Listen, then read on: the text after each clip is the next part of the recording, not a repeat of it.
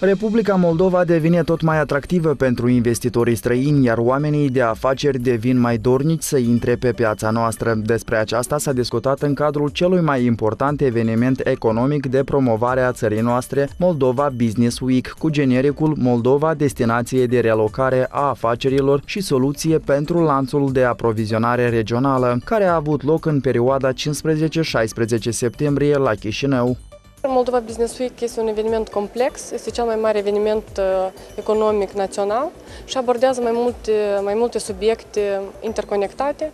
În primul rând, în acest an vorbim despre statutul de candidat ca uh, țară pentru UE pe care l-a dobândit Moldova în uh, iunie 2022, dar și opțiunea ca Moldova să devină acel jucător important în aprovizionare, în lanțurile globale și regionale de infrastructură, Printre factorii care ne fac țara mai atractivă pentru investitorii străini sunt semnarea acordului de asociere cu Uniunea Europeană, dar și poziția geografică. Întreprinzătorii din UE reprezintă aproximativ 84% din toți cei care investesc în Republica Moldova. Apropierea noastră de UE, armonizarea legislației, recunoașterea semnăturilor digitale, lucru care s-a înfăptuit acum recent, totul sporește spre a ne uni și mai mult legal, contextual, infrastructural de Uniunea Europeană. Noi uh, credem că, în primul rând, și uh, de fapt asta este lucru menționat cel mai des de investitori, este așezarea geografică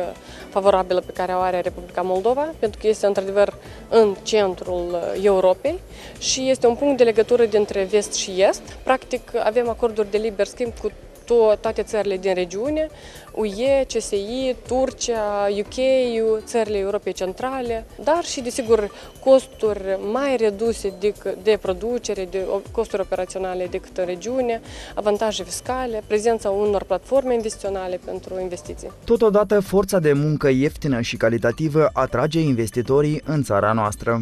În Europa de vest nu sunt foarte multe posibilități, chiar dacă Franța încearcă să atragă cât mai multe societăți în Franța, costurile sunt foarte mari și problema școlilor profesionale. În țările din vest nu mai există școli profesionale. Deci, cred că Moldova are destul de multe școli profesionale. Asta e, cred că, unul dintre cele mai importante aturi pentru ca un investitor să vină.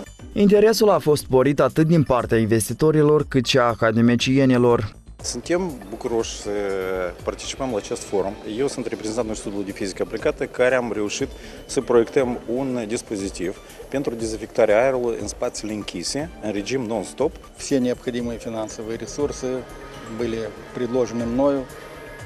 Но думаю, что если этот проект будет расширен, то, конечно, дополнительные какие-то инвестиции из республики или извне понадобятся. Posibilitatea de a-și desfășura activitatea într-un mod rentabil și fără riscuri atrage investitorii străini din diferite țări. Первый раз участвуем в таком общественном ивенте в вашем стране, в Молдове. Нас заинтересовало те, те демократические процессы, что уже идут в вашем, в вашем стране.